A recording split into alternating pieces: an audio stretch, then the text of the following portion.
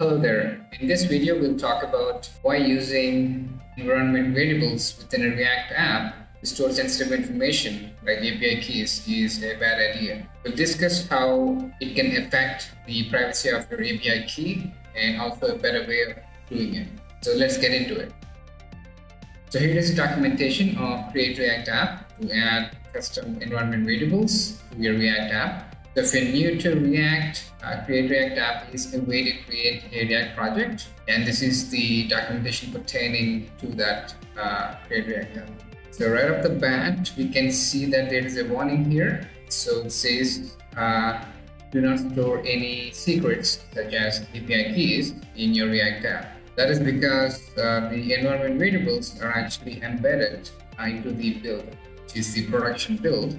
So it will be exposed to users on the web page and they will be able to dig through your network requests and the production build and get hold of your API key. So that is the crux of uh, this video.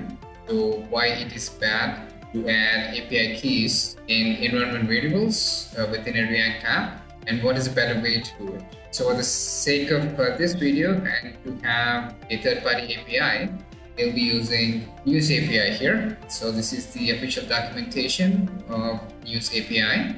And uh, to actually make requests to the News API, you'll need an API key for location or authorization purpose. So once you sign up and complete the process, you'll be assigned an API key, and then you can use it to authenticate your requests to News API endpoints. So it gives us three different ways to authenticate a request. The first one is using the query string where the API key will be included directly in uh, the URL.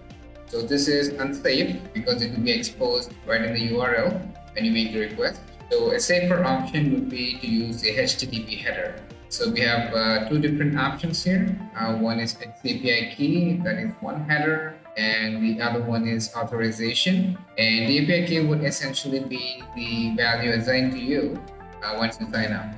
And if your API key is invalid, you'll get a 401 response, authorized response. The endpoint that uh, I'll be using for this uh, video would be top headlines. So this is the uh, URL for the endpoint, top headlines. So you can give the country here. Uh, of course, we won't be using it in the URL, the API key. You'll be using it in the header, request header. And also we have uh, other parameters that you can give in the endpoint like the categories, sources, and so on. So do check it out if you're interested in building a news app and you would like News API to be the source of the data. So built a simple uh, news app here, just displays the news headlines. And uh, these are the news cards with information on different articles. So it just has the information like the author, the source, uh, the published date, title, uh, some description. Uh, this is essentially an excerpt uh, from the complete article. And if you want to read the whole article, uh, just click on the link and it will open up in a new tab.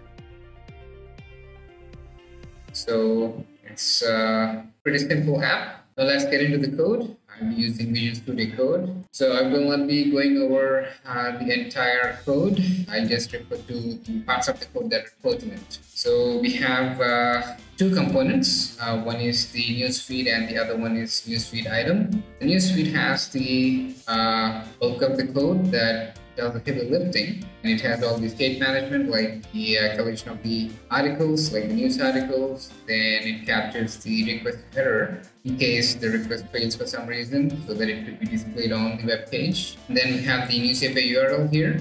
Uh, this is the top headlines endpoint of the news api uh, so i've given the parameters country india category general and uh, here we have the method uh, that does the fetch call to the News API to get the data. So we have the News API URL and the request options. Let's take a quick look at the options. Uh, it is the get method. We want it to be a CORS, cross origin. And uh, then we have the XAPI header here to have the News API key. So the way we access News API key within the React app is using process.env.news name of the environment variable. So this is actually present in .env file. So that is how we create environment variables uh, within the React app. Create a .env file and create an environment variable. So one rule is that uh, all environment variables should start with uh, React underscore app. And after that, you can give any name that is fitting. So because it's use API key, I just gave that here. Before I show the content of the .env file, let me replace the actual API key with the dummy API key uh, for privacy reasons, which is the whole point of this video. So I'll be right back after I switch out the actual API key with the dummy one. Okay, here is the content of the .env file. So we have the environment variable here and have a dummy API key here. So as a side note, uh, whenever you make changes to .env file, you have to restart the server, the React server. And since we're using the production build, uh, we just terminate with Control C. And now to actually create a new production build with uh, new changes, I'll run the command npm run build. So take a minute.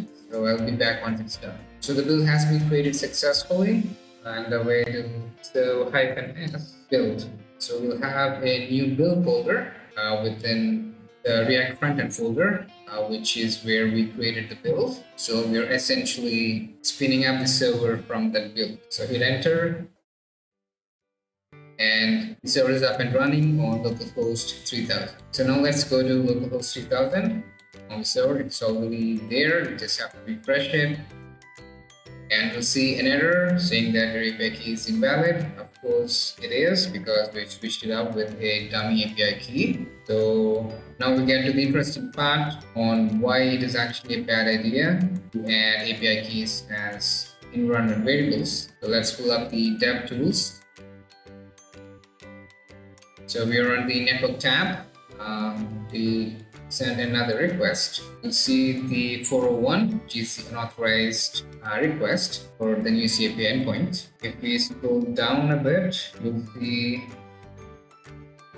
the request headers here. And right there, you can see that we have the XAPI key and we have the API key exposed.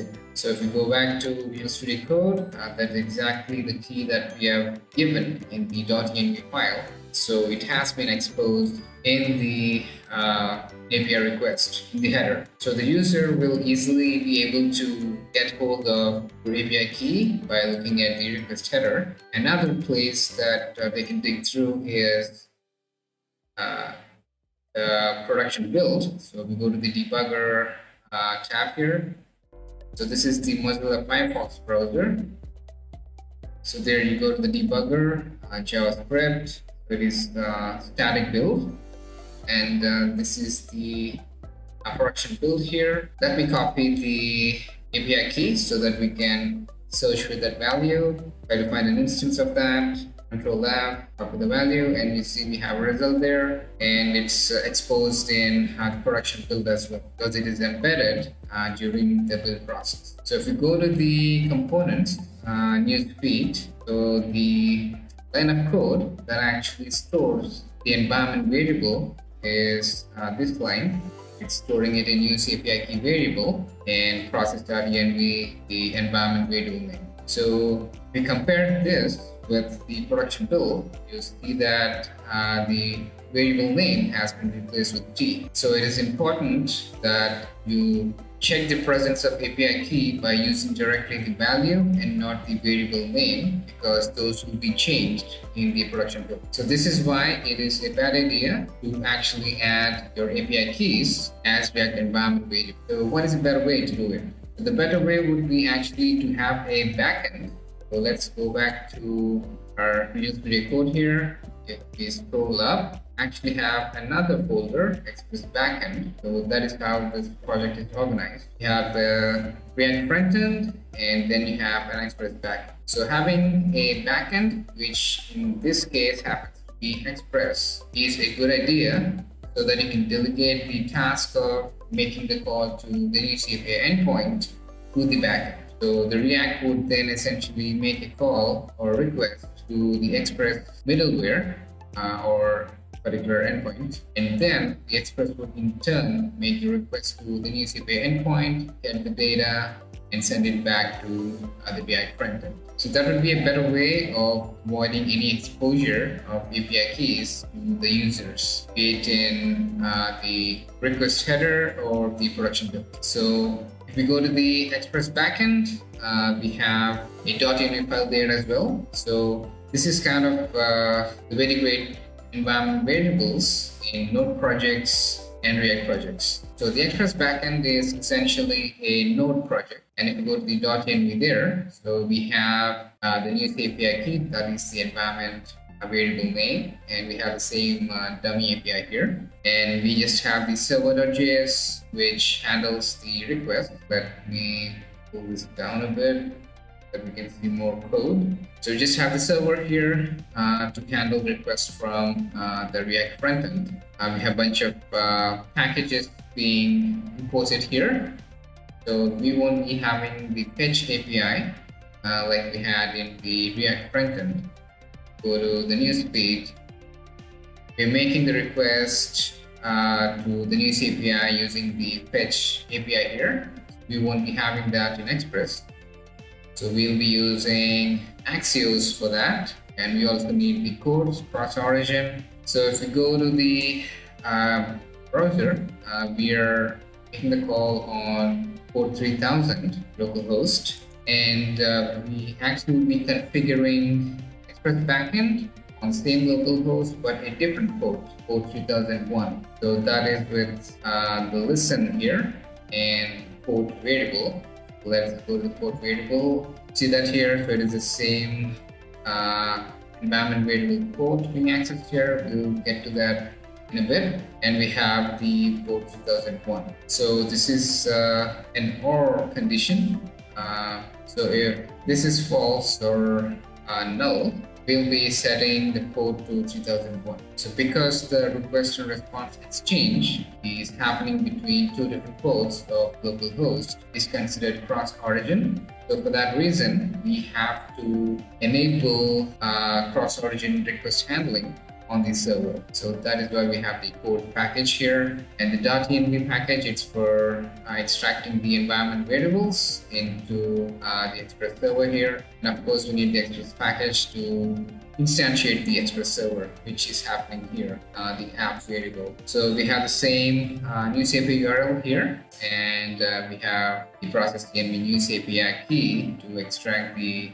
API key here. So Let's go back to the port here. Uh, the port we have is process env.port. Uh, the port becomes more relevant when you actually host your app on some third-party service. They're like hosting or Heroku or some other service. So there, that service will automatically assign some port to your app or the Express backend. And it, will, it is a neat way to pick up uh, whichever port was assigned and set in the port variable. So that is the uh, significance of the process there. So this is how we use the port middleware, uh, app.use. And then we have the middleware to handle the GET request from the uh, React frontend. So we have this URL here, news data. So now, if we go to the React frontend, the news feed component. So now uh, what we have to do is we have to switch the uh, URL that we're using here. Directly calling the news API endpoints. We will be making the call to the